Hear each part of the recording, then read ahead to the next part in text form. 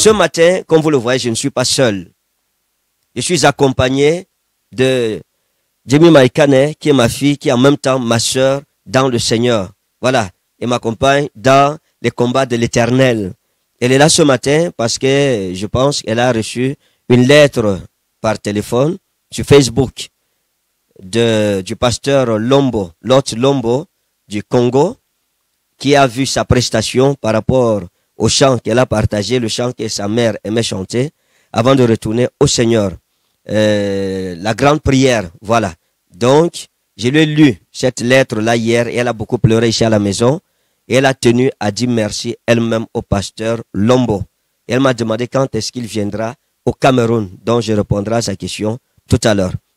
Alors, bébé, est-ce que tu voilà, euh, tu as dit que tu voulais dire merci au pasteur Lombo. Tu te souviens, je t'ai lu sa lettre hier, c'est ça?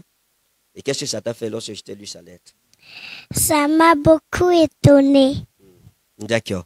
Et alors maintenant, est-ce que tu as quelque chose que tu voudrais lui dire? Oui. Oui, vas-y. Tiens le micro. En fait, l'autre Lambeau, je suis contente parce que parce que je, je suis joyeuse euh, parce que parce que je, je te dis merci pour la lettre que tu que tu m'as écrite et sache que moi aussi je t'aime beaucoup et et sache et, et et, et je sais que c'est quand que tu vas venir au Cameroun. Tu veux qu'il vienne au Cameroun? Oui, Tu veux qu'il vienne quand? Je veux qu'il vienne euh, euh, mercredi. Mercredi? Oui. D'accord, tu sais, il habite très très loin. Il est loin dans son pays. Et je lui ai donné une invitation euh, pour le culte national au mois de juin. Il sera notre invité. Et il a dit qu'il veut chanter avec toi. OK? Il a dit qu'il veut chanter le même chant avec toi. Est-ce que tu peux encore chanter la grande prière? Tu peux faire la capella La grande prière qui monte dans mon cœur.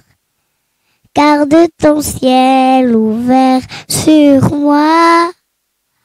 Fais de moi un vase pour ta gloire.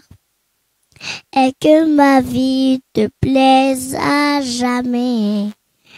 Que chaque jour je meure à tes pieds pour t'offrir ma vie en sacrifice comme un parfum de bonne odeur qui sauve à chaque instant à chaque heure.